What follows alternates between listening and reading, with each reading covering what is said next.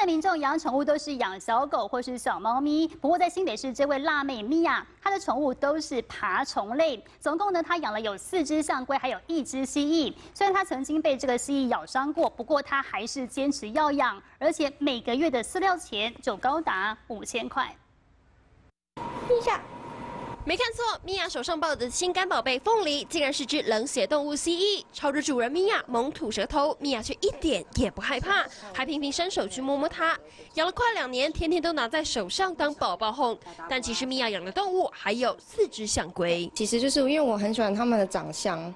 就是他这脸，然后就感觉很蠢，然后每天这样看他们爬，就是一种乐趣。从十四年前开始养乌龟，就是喜欢看他们爬来爬去。家里还有三只猫咪，一只狗，全关在一起，就像动物园一样。宠物间还会为了主人争风吃醋。猫小时候的时候会会皮，所以我那这些乌龟啊，然后就是可能小时候就是有时候被猫拿来玩，所以我发现壳上面会有那个爪痕。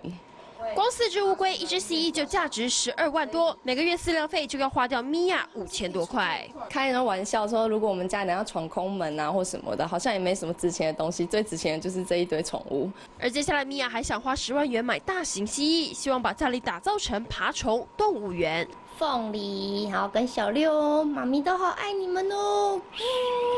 记者刘培、张振杰、王家宏台北报道。